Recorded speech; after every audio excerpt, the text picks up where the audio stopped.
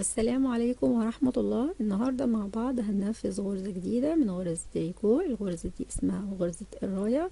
لو حبينا نوصف الغرزة عندي الخطوط اللي فيها تعريجة زي ما أنتم شايفين آه هي ديت. دي عبارة عن آه غرز بتبقى مقلوبة في الأمام وكمان مقلوبة في الخلف. آه بالنسبة للخط المايل ناحية اليمين ده بيبقى عبارة عن ضفيرة يمين من غرزتين وإحنا نفذناها قبل كده. وهنشوف الشرح في بقية الفيديو. بالنسبة للخط المائي ناحية الشمال دي ضفيرة شمال برضو من غرزتين. إحنا نفذنا الطريقة دي قبل كده في فيديو اللي هو المربعات المتداخلة. هنشوف مع بعض الطريقة واللي إحنا شايفينه قدامنا هو دوت الوجه الأمامي. أنا هنا مكررة النموذج مرتين. بالنسبة للغرزة من الخلف بيكون بالشكل اللي إحنا شايفينه قدامنا. الغرزة عندي من الخلف السطور كلها بتكون بالغرزة المقلوب. آه لو حبينا نتكلم عن العينة عندي العينة بتتكون من مضاعفات العدد عشرة. يبقى أنا لو أنا هزود العينة يبقى هضاعف العدد عشرة يبقى عشرة عشرين تلاتين وهكذا. عندي غرزتين حافة غرزة في الأول وغرزة في الآخر. بالنسبة لعدد السطور اتناشر سطر. بيتكرروا من السطر الأول حتى السطر الاتناشر. ونبدأ في شرح الغرزة بسم الله. هنبدأ نشتغل السطر الأول والسطر الأول عندي من السطور الأمامية. وهنشوف التقسيمة هتكون إزاي. إحنا قلنا إن أول غرزة وآخر غرزة دي غرز الحافة. بعد كده بنبدأ في العشر غرز اللي هي نموذج العينة. هنشتغل آه أول اتنين من العشر غرز هيبقى اتنين عدل. بعد كده هشتغل تلات غرز مقلوب.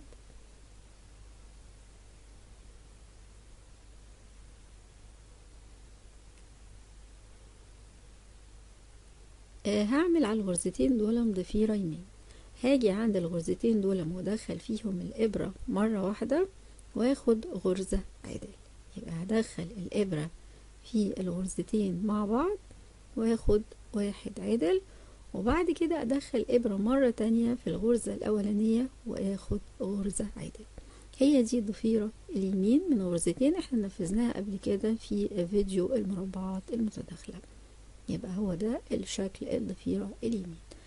بعد كده هشتغل تلات غرز عدل يبقى أنا عندي كده خلص النموذج العينة اللي هو بيتكون عندي من عشر غرز. بنكرر العشر غرز حتى آخر السطر الأول وبننهي بغرزة حف نقول تاني السطر الأول إحنا آه بدأنا باتنين عدل وبعد كده تلاتة مقلوب ضفيرة يمين من غرزتين تلاتة عدل وبنكرر حتى آخر السطر. السطر التاني من السطور الخلفية وإحنا قلنا إن السطور الخلفية هتكون كلها بالغرزة المقلوب يبقى أنا هشتغل دلوقتي السطر التاني. هنبدأ بغرزة حافة بناخدها عدل من اللفة الخلفية وبعد كده بنشتغل كل الغرز بالغرزة المقلوب وطبعا أفكركم تاني إن نموذج العينة بيتكون من مضاعفات العدد عشرة. هنشتغل نموذج العينة كله في السطر التاني وكل السطور الخلفية هتكون عندي بالغرزة المقلوب وبننهي طبعا بغرزة حافة ما بنشتغلهاش بنجيب الخيط قدام الشغل وبعد كده بنسلت الغرزة على الإبرة اليمين ده شغل السطر التاني اشتغلناه مع بعض بالغرزة المقلوب. هيكون كل السطور الخلفية بالغرزة المقلوب. هنشتغل مع بعض دلوقتي السطر الثالث والسطر الثالث من السطور الأمامية هنشوف مع بعض التقسيمة. هنبدأ بغرزة حافة. وبعد كده هنشتغل من أول هنا غرز العينة هنشتغل غرزة. عدل؟ هنشتغل تلات غرز مقلوب.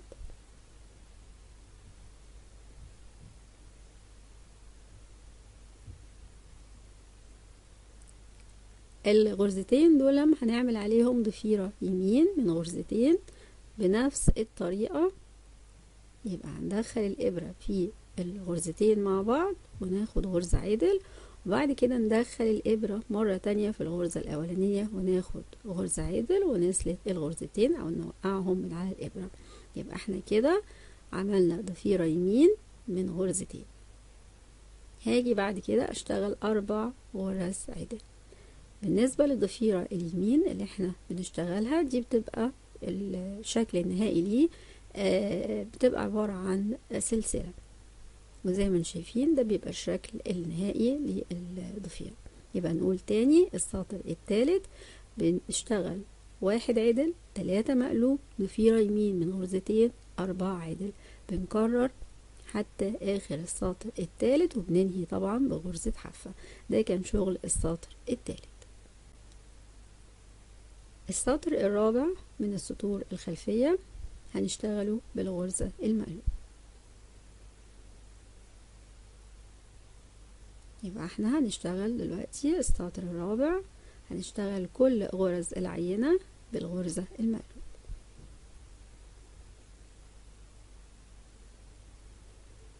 إحنا اشتغلنا السطر التاني كان بالغرزة المقلوب ودلوقتي بنشتغل السطر الرابع بنشتغله برضو بالغرزة المقلوب.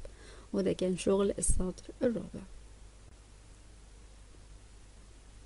هنشتغل السطر الخامس والسطر الخامس من السطور الأمامية هنشوف تقسيمة السطر الخامس. هنبدأ بغرزة حافة. وبعد كده هنشتغل العشر غرز نموذج العينة. هنبدأ بتلاتة مقلوب. هنشتغل أول تلات غرز مقلوب.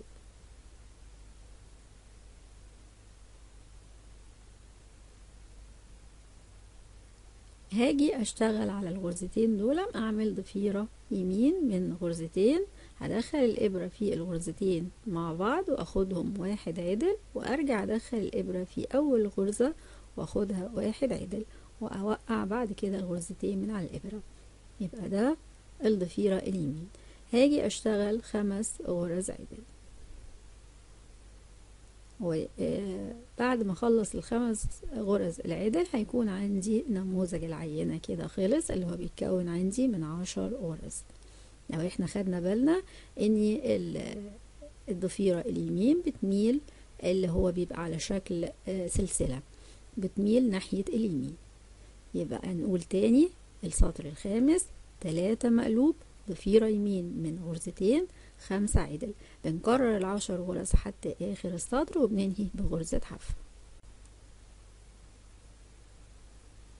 وصلنا مع بعض للسطر السادس والسطر السادس من السطور الخلفية اللي إحنا طبعا بنشتغلها بالغرزة المقلوب آه أنا بعيد آه الشغل السطور الخلفية لأني في كتير آه طلب مني إن أنا أشتغل السطور الخلفية. فأنا بنفذ طلبكم وبشتغل مع السطور الخلفية مع بعض. هنشتغلها طبعا إحنا قلنا في بداية الفيديو إن إحنا بنشتغلها بالغرزة المقلوب يبقى إحنا دلوقتي بنشتغل السطر السادس بالغرزة المقلوب يبقى ده شغل السطر السادس هنكمل حتى آخر السطر بالغرزة المقلوب وبننهي بغرزة حرف. السطر السابع هنبدأ نعكس. إحنا دلوقتي كنا عملنا ضفيرة يمين من السطر السابع هنعمل اللي هي الضفيرة الشمال اللي هيكون الخط مايل ناحية الشمال. هنشوف التقسيمة بتاعة السطر السابع هتكون إزاي. هنبدأ طبعا بغرزة حافة ناخدها عدل من اللفة الخلفية. بعد كده هنشتغل تلات غرز عدل.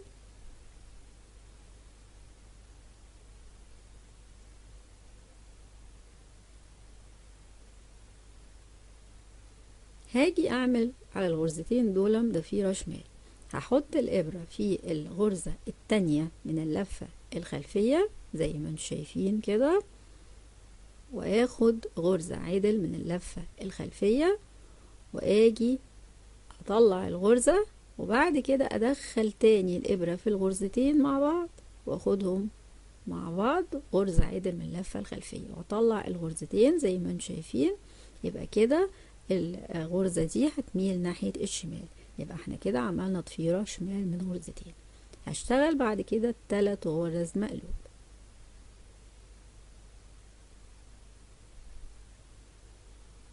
هيتبقى عندي آخر غرزتين في العشرة هشتغلهم عدل يبقى إحنا كده قلنا تقسيمة العشر غرز اللي هي نموذج العينة. نموذج العينة عندي بيتكون من عشر غرز. السطر السابع اشتغلناه مع بعض. تلاتة عدل. بعد كده عملنا ضفيرة شمال من غرزتين تلاتة مقلوب اتنين عدل. ده نموذج العينة في السطر السابع. آه بالنسبة لآخر السطر طبعا بننهي بغرزة حافة. ده نموذج العينة بيتكرر عندي حتى آخر السطر السابع. يبقى إحنا شفنا مع بعض شغل السطر السابع بدأناه بغرزة حافة وهننهيه بغرزة حافة. السطر الثامن من السطور الخلفية وطبعا هيكون شغله بالغرزة المقلوب. يبقى إحنا دلوقتي بنشتغل السطر الثامن بالغرزة المقلوب. أحب بس ألفت نظركم لحاجه إن أنا ما بكملش السطر الآخر لأني أنا بكون مكررة نموذج العينة مرتين أو ثلاث مرات فأنا بشتغل معاكم بس نموذج العينة اللي هو بيتكون من عدد الغرز اللي أنا بقول عليها في الأول. يبقى إحنا دلوقتي بنشتغل مع بعض الغرز السطر الثامن بالغرزة المقلوب وصلنا مع بعض للسطر التاسع. هنبدأ بغرزة حافة وبعد كده هنبدأ في العشر غرز نموذج العين هنشتغل أربع غرز عدل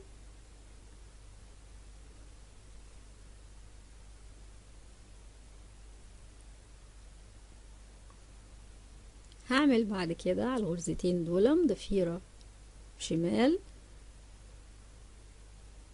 هدخل الإبرة في اللفة الخلفية للغرزة التانية وآخد غرزة عدل. بعد كده هدخل الإبرة مرة تانية في الغرزتين مع بعض وأخدهم واحد عدل من اللفة الخلفية. وأخرج بعد كده الغرزتين من على الإبرة يبقى زي ما شايفين الغرزة بتميل ناحية الشمال.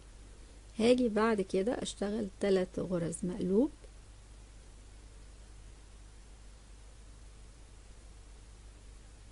هيتبقى عندي غرزة من العشر غرز هشتغلها عدل يبقى إحنا كده قلنا تقسيمة عشر غرز في السطر التاسع.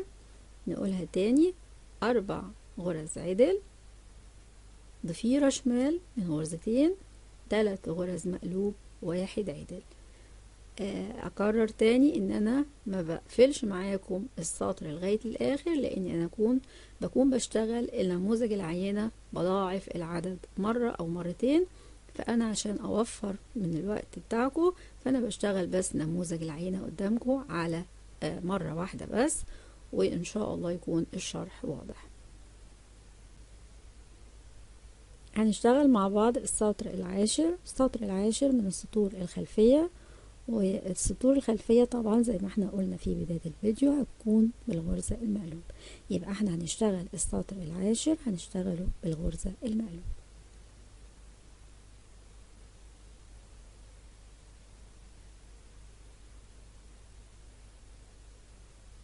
يبقى ده شغل السطر العاشر بنكرر حتى آخر السطر.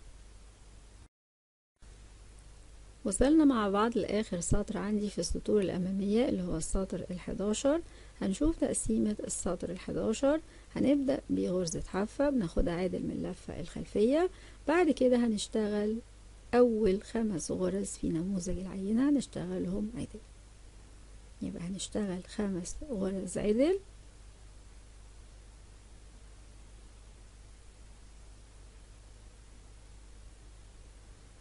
هاجي بعد كده أعمل على الغرزتين دول ضفيرة شمال هدخل الإبرة في اللفة الخلفية للغرزة التانية وآخد غرزة عدل.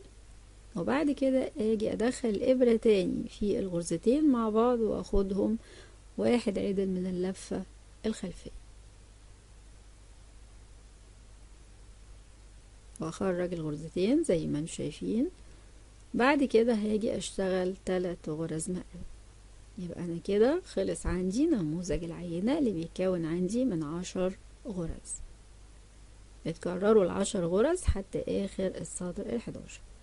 يبقى ده الشكل النهائي.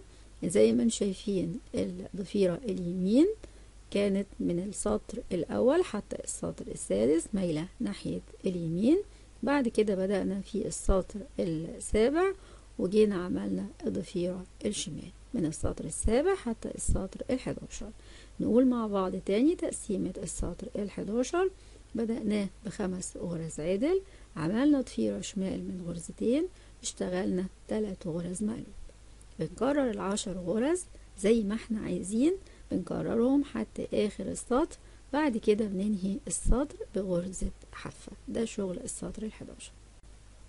هنشتغل السطر ال 12 ده آخر سطر عندي في السطور الزوجية وآخر سطر في نموذج العين. لما أحب أكرر أكرر من السطر الأول حتى السطر ال 12 طبعا بنشتغل السطر ال 12 بالغرزة المقلوبة يبقى كل السطور الخلفية أو السطور الزوجية اشتغلناها مع بعض بالغرزة المقلوبة يبقى ده شغل السطر ال 12 بنكرر الشغل حتى آخر السطر. يبقى ده شغل السطر ال 12 وبكده نكون انتهينا من شغل العينة. اشتغلنا مع بعض 12 سطر. اشتغلنا السطور الخلفية كان بالغرزة المقلوب السطور الأمامية كانت ليها تقسيمة وشوفنا مع بعض تقسيماتها في الفيديو. كان مضاعفات العدد عشرة. بنضاعف العدد زي ما إحنا عايزين وبنكرر السطور من السطر الأول حتى السطر ال 12 وده الشكل النهائي للغرزة. وزي ما شايفين الخطوط ديت قلنا إن هي بتبقى غرزة مقلوب في الأمام وغرزة مقلوب في الخلف. وبيكون ده شكلها بعد ما خلص الشغل. بالنسبة للضفيرة اليمين فبيكون عبارة عن سلسلة مايلة ناحية اليمين وشفنا مع بعض الطريقة في الفيديو. بالنسبة للضفيرة الشمال بتبقى عبارة عن سلسلة مايلة ناحية الشمال وشفنا برضو طريقتها في الفيديو. إن شاء الله يكون الشرح واضح وتنفذوا الغرزة وتنال اعجابكم وشكرا والسلام عليكم ورحمة الله وبركاته.